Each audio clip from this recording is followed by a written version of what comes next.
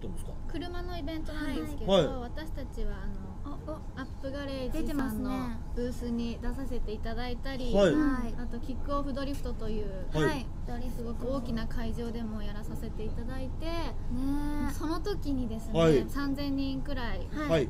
見て多分くれてる人。がええはい。あすっごい人いてる。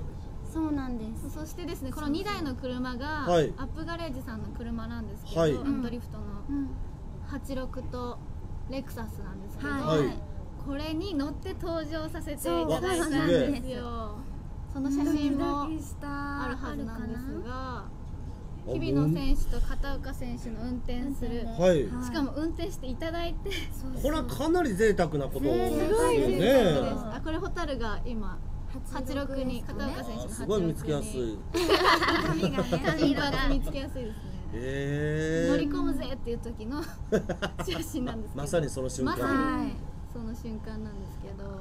すごかったそれにしてもすごい人いましたね。すごかったです。あれやっぱりいらっしゃってる方って男性が多かったんですか、多いですね。うん。多かったですね、はい。女性もたくさんいましたね。女性もいましたね。でこのイベントで、えー歌ダンス、ダンス歌。はいそれどれぐらいされたんですか？何ステージぐらいされたんですか？全部で7 7ステージさせてもらいました。7ステも？はい。これ結構大変ですね。これが噂の86なんです。が86ついな これちょうどアップガレージさんのブースに展示してあった。あはい。ー。あれ？ものなんですお三方は免許は？持ってます。持ってます。あれ？なんか一人だけ無言の声帯震えない方がいる クロちゃんだけないんです。まだねあの未成年なんで免許取れないんですよね。そんなことはないでしょう。かはい。またまたままたまたはい。あはるかも持っていて、はい。ホタルマニュアルで持ってたので、はい。うん運転させていただいちゃったんえです。そう。実は。えレクサスを。これえー、これですよね。これです、うんこれなんどうなってるんですかこの車。あでもこれ何これ？は後ろに乗せていただくためにわざわざ屋根を外していただいて。え屋根外れたり？外しそうなんです。上に乗っちゃったんです。すごいな。そうなんです。これマニュアル車じゃないですか、はいもちろん、はい。だから一発でうん。行けるか分かんなかったんですけどちょこっと運転させていただいて、コースを一周。わすごいさせてもらいました。こんな体験なかなかないですよね。うん。久しぶりのマニュアルだったんですけど、エンストもせず無事。はあ。上手でしたね。すごい。まあちなみに僕免許ないので。あないですか、はい。エンストってよく分かってないのでうなずいてるんですけ同じですはい。同同じですね。はいよくわかんないわかんない。はい。ど、うん、いやいや。最近あの2ドアの意味分かりましたけどね。扉2個やっていうなん。か馬力的な意味かなと思ってましたけど。えじゃあ一足とかも分かんない？あ全然分からないですね。わかんなかった。言わなくて。一足で走ったんですよって言おうとしたんですけど。一足って何ですか？あのギアのあレベルといいますかああなんかガチャガチャするやつ。ガチャガガガガガチャするやつ。ってやるやつ。はいそれなら僕1日2回やります。2足。そういうもん2ね足を2回やりますけどね。二足を二か、はい。まあまあ2足歩行ということです。そうですね。はい。でまあそこでもあのたくさん歌われたと思いますけども、はい。新曲、はいはい。新曲って言っていいんですか？10月？12月。12月。12です。新曲でこちらです。これは何という？はい。こちらはタイトルはせーの。ファーストワン。という曲なんですが、はい。はい。これははいこの曲は、はいどんな感じの曲なんでしょうか？はい、えっと、ありふれたいつもの日常を抜け出したいっていう女の子の願望をストレートに表現した曲なんですけど、はいはい。とてもあのダンサブルなクラブチューンになってます。クラブチューン。ちょっと見てみましょうよ、はい、ぜひ見てください。えー画面の向こうでは流れているかと思われます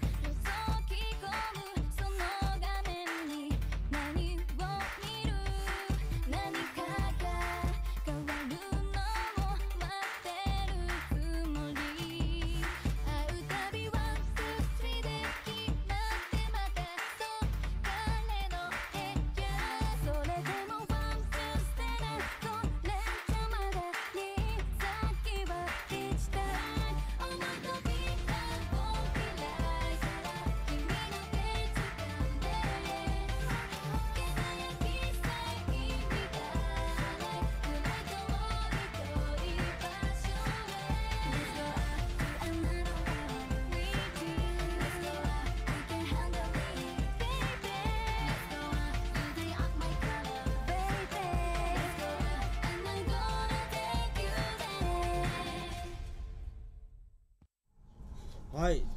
てな感じで。はい。これ僕やったことないからちょっとあれなんですけどはい。歌い歌いながら踊るってめっちゃ大変なことなんじゃないんですか？そうですね。そうですけども、その歌詞に合った振りだったりとか、はい。やっぱ振りでも伝えられる歌詞でもあったりするので、あ感情は入りやすかったりします。ーわかった。そんな感じ。はい、逆にダンスがあった方が歌いやすいかもしれないあーあなるほどなるほど。僕あのね役者をやってるんですけども、はい。よくセリフよく覚えられますよねって言われるんです。でもその度にその話の流れがあるから覚えられるんですよ。ってそのぶつ切れだったら覚えられない。んですよ。でもその感じにちょっと多分似てますよねあー。もうしょっちゅうそのレッスンとかやったりするんですか？どうですか？今日もリハーサルしてきました。あえこの前に。はい。それ何のレッスンをしてるんですか？それはリハーサルでイベントのイベントが近いので。めっちゃ忙しいですね。あの事務所って俳優さんばっかりでしょ？そうそうです。僕めっちゃ知ってますよ。事務所岡山はじめさんとかめっちゃ知ってますよ。はいはい先輩ですね。はい。ご共演されたりとか。えー、っとおごってもらったことがあります。岡山さんとかねあの、えー三鴨さんとかねあと僕菊池さんは大好きな俳優さんですし。はい。僕あのねラッパ屋っていう劇団なんですよ、はい。岡山さんとか、岩橋さんとか。僕ラッパ屋さんでスタンドインっていう仕事をしたことがありまして。はい。あの稽古場芝居の稽古場でなんか皆さん忙しいとこ来られない方い。らっしゃるんで、その間代わりに稽古場でやるっていうので調べた時にびっくりしてあれこんなあれ？踊る人いてたっけ？って思って。そうなんです。そうなんであるんですか？あの部門が。前なかったです初ですシリーズ。そうですよね。す。ごいなんかびっくり意しました 外ですね。ね。なじゃあなんか舞台出たり芝居したりとかってさすがにないんですか？あ、いつかはねあります。あええあるんですか？あの過去というか、はい。はい。以前出させていただいたりとかもありましたね、ドラマ。はい。経験あしえそういうのもされてるんですか、はい。はい。すごいね、あれやん。じゃあもう3人であの実写版またキャッツアイできるやん ねえ。昔実際ね藤原紀香さんとかがやってましたけど、あそうですか。ブザービートってご存知ですか？今ねつあった。ツイートにあった。えっとねちょっはいと読みましょうか。何個か。お願いします。今ありましたよそれ。ブザービート。インパワージャンプさん。はい。おブザービートに出てたんだ。何なんですかブザービート。はい。あれは昨年ですかね。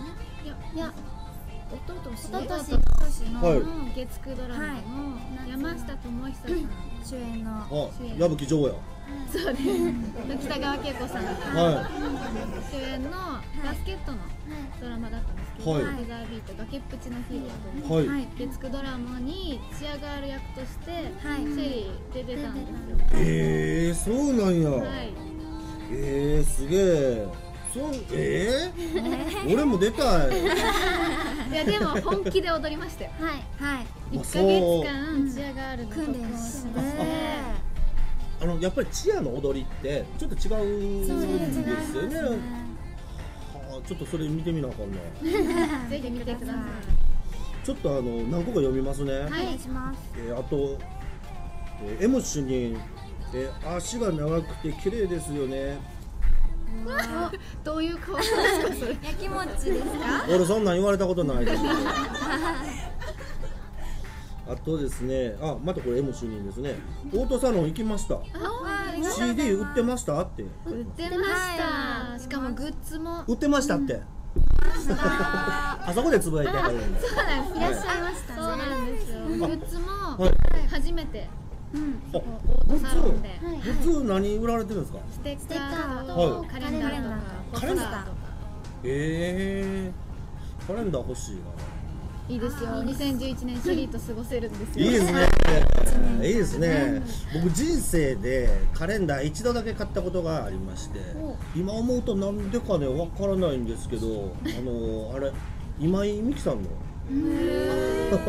カレンダーをね高校生の時に買いました。